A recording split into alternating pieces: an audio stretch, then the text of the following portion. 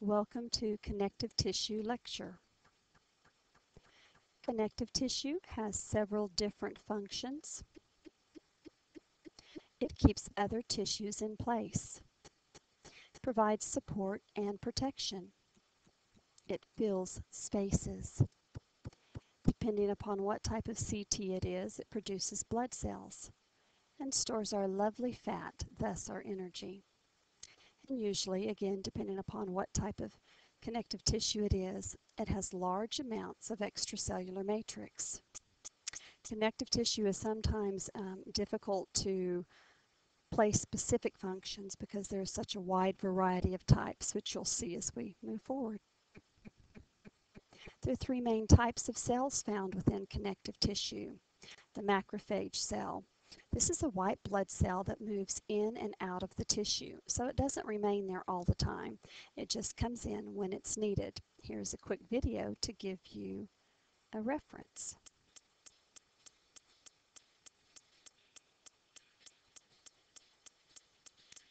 So this is a white blood cell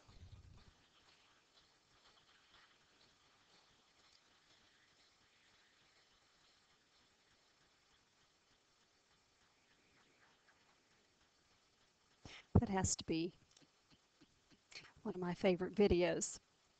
That was a white blood cell in um, with red blood cells and platelets that was actually attacking a bacteria. So that is an example of a macrophage cell.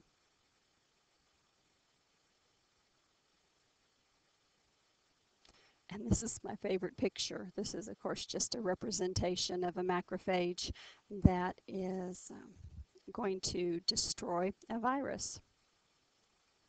So they are our scavengers and defenders. Next we have mast cells. Mast cells communicate chemically.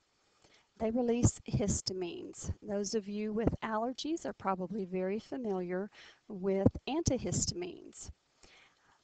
You need an antihistamine when you have an allergic reaction because your mast cells have released histamines in trying to battle. They're communicating uh, chemically because they're trying to send word out to uh, the other blood cells, the other white blood cells, that they need to take care of something foreign that has come in. Also, mast cells prevent blood clotting in vessels and they increase the flow to injured areas.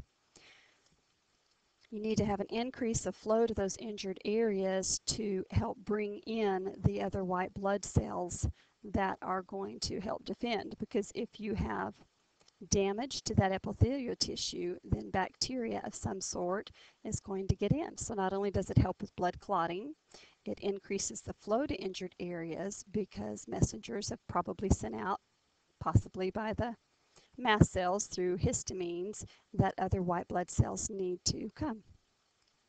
The most common of all the cells is fibroblast. Fibro, meaning of course fibers, blast, meaning growing or budding. So fibroblasts are what are going to grow our protein fibers. There are three types we're going to be looking at. Collagenous fibers, these are thick threads from protein made out of collagen. So here would be an example or a diagram of one. They are flexible with great tensile strength. This is what your tendons and ligaments are made up from. Um, when they we when we don't look at them on a microscope slide, if you see them in the body, they're white. Very strong. The next would be reticular fibers. Now reticular fibers um, are just a few of the collagenous fibers. So instead of having a huge bundle, you will only have two or three. These are found mainly in the lymphatic system. And here is a slide with dyed reticular fibers and the lymphatic system, the lymph nodes, the spleen, the lymph vessels and elastic fibers. Elastic fibers are thin branched elastin protein. So the three types of protein fibers that we will see in connective tissue, collagenous, reticular, and elastic.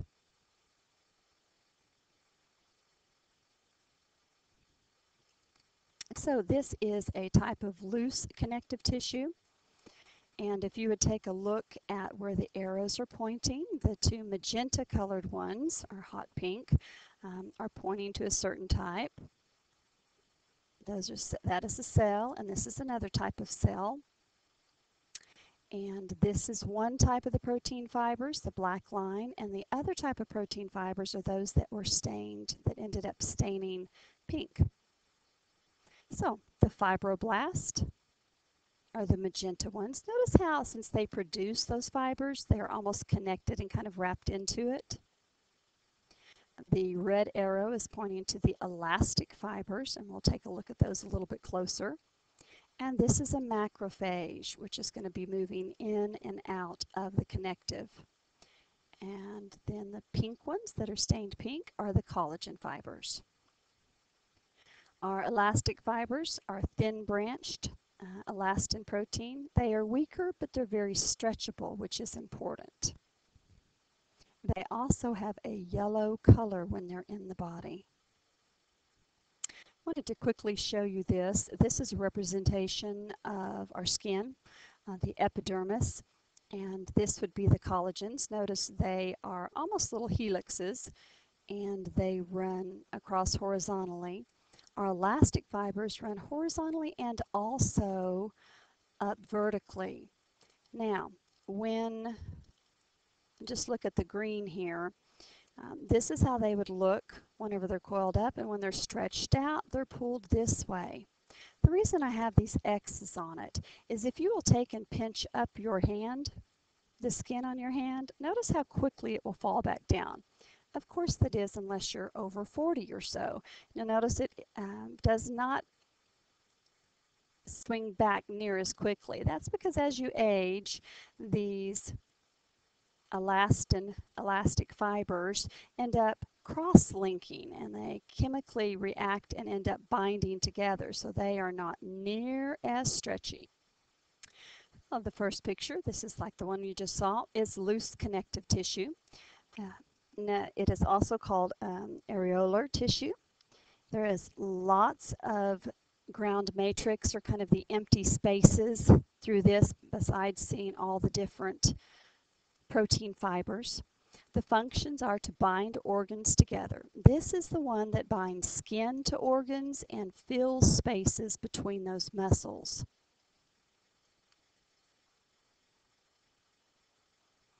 It um, has very delicate thin membranes with all that extra space. Mainly fibroblast cells are there with a lots of matrix here again and the collagenous and elastic fibers. Elastic fibers dark and collagenous fibers are those that are dyed pink.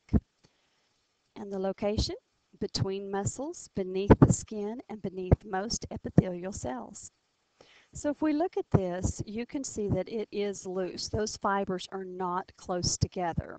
So the opposite of loose would be tight or dense. So let's take a look at a couple of the dense connective this is dense, regular connective tissue. If you will notice how parallel these collagenous fibers, and there's a few of the elastic fibers in there, how closely they are packed together. There's a few fibroblast cells.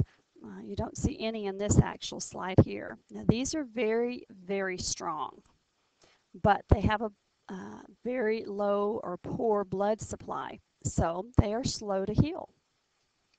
And the location? Ligaments and tendons. So those of you that have had ligament or tendon damage, you know how, how hard it is, um, how slow they are to heal. The function? Ligaments bind bone to bone, and tendons bind those tender muscles to bone. So here again, take a look. These are dense, regular connective tissue. So let's look at some dense, irregular connective tissue. This is an example of dense, irregular connective tissue. Notice that uh, the proteins are kind of all jumbled up. They are not parallel. They are matted. This location is the deep layer of skin, the dermis, and uh, it is also found around the bones and cartilage. The function is protection and here again connecting. If you'll notice up here, you can see some stratified squamous, and this, of course, would be keratinized because all of the nucleus have disappeared. So we have our stratified squamous coming on down, and all of this will be our dense, irregular connective tissue. Connective tissue, adipose tissue. Adipose tissue is our fat cells. This is what stores our energy in actually the fibroblast cell. Fat droplets are stored in the cytoplasm. They enlarge and crowd up with the other cells. Uh, from my research, uh, it's not that you have a lot of division, mitotic division going on in your adipose, uh, in your adipose cells, that with the tissue, you just gain more and more fat droplets in there. Location, I think we all know where our, our adipose tissue or our fat is located, beneath the skin, around the kidney and heart, and in the breast. The function, insulation, and fat storage. Here is actually reticular connective tissue. We talked about one of the three types of tissues, uh, I'm sorry, of proteins, were the collagenous fibers and the reticular fibers and this is made up of reticular fibers. So it's just a few of the collagenous fibers. So only two or three collagenous fibers. So it has its own name, reticular. This is how it can be drawn uh, as a sketch. The fibroblast here has a special name called the reticular cell. This is also in the lymphatic system. Function, immunity, production of blood cells. Location in the lymph nodes, the spleen, the thymus, the liver, and red bone marrow.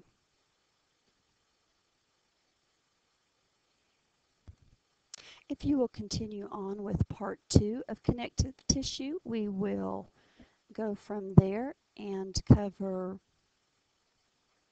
some of the not so ordinary or not proper connective tissue, but still classified as connective tissue. We'll cover cartilage and the types of cartilage, bone, and blood. Thank you.